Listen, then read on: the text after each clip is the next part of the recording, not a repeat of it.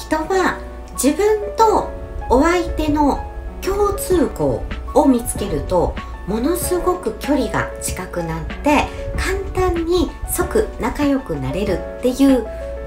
生き物なんです。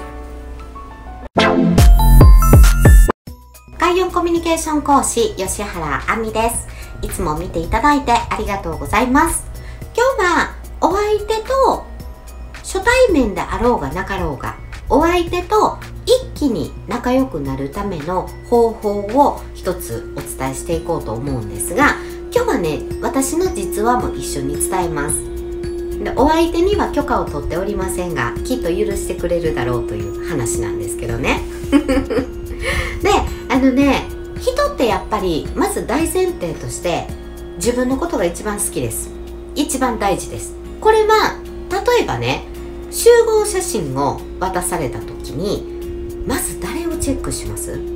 絶対拡大して自分の顔見ません。いや半面になってるわとかいやおかしい顔してるわとかいやちゃんと撮れてるわとか。まず自分からチェックするはずなの。そして2番目に仲がいい人たちをチェックしたりとかもう人によっては自分しか見ないっていう人もいますしね。全然知らん人からチェックしていくってないでしょ。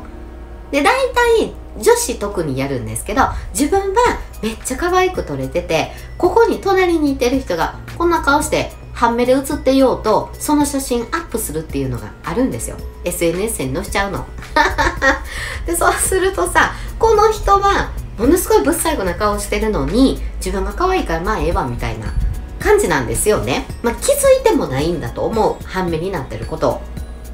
ぐらい自分のことが好きなんです。でそんな私が選んだピアスと同じ感じのボンボンピアスをつけてる人を発見した時いやあの人のボンボンピアスも可愛いわ。どこで買いはったんやろ。ちょっと喋ってみよう。ボンボンピアス可愛いですよね。ボンボンピアスって言うんかな。ボンボンピアス可愛いですよねって。どこで買いはったんですか。ほな相手も見つけんねん。いや同じタイプやわ。いやそれも可愛いですよねってどこで買いはったんですかっていやなんとかっていうお店でねってここでまた共通項が出たらねもっと行くね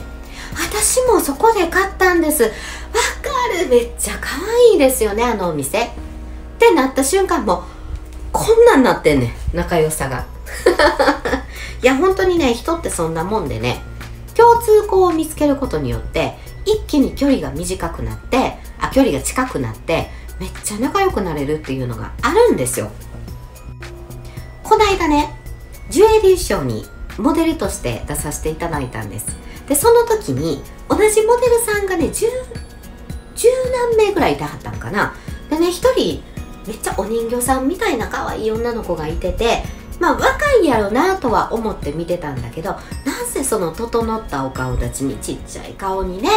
まあ本当にこうええ感じの可愛らしい人やなって思いながら見てたんだけどたまたまソファーが隣になったんですよ。でねいやなんかそんな話しかけんのもさなメイク直しとかもしてはるし私もメイク直ししてるし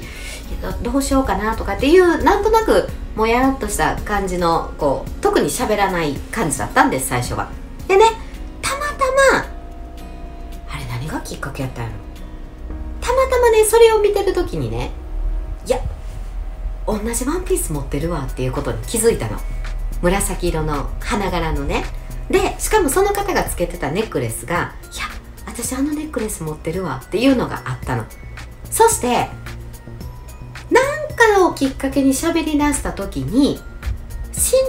態度は大きいからいつも大きく見られるんだけど実際お会いすると結構ちっちゃいですよねって言われたりするんですよねみたいな話になったの。でねあ分かる。私もそうなのよって。態度が大きいから結構大きく見られがちなんだけど実際リアルに会うとあれ結構亜美さん背ちっちゃいよねって言われるねってそうそうそうみたいな話からいや実はさ私ワンピース同じの持っててとかネックレス同じの持っててとかそういうなんか共通項がいっぱい出てきてね。で身長聞いたら1 5 0センチ前半で私も151か2以下ぐらい。いや身長一緒やわっていうのとかなんかファッションショーあのジュエリーショーの1回目が終わった時にウォーキングの先生が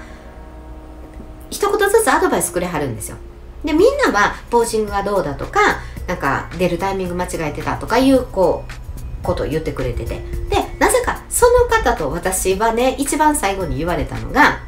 2人はポージングとかウォーキングはいいと。ただね